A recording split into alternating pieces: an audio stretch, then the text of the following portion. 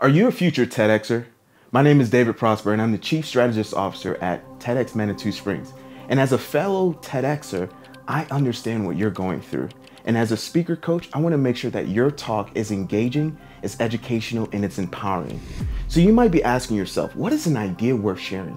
An idea worth sharing is a vision of a world that you can create. It's identifying a problem, it's providing a solution, and it's very specific. So we want to hear your idea worth sharing today.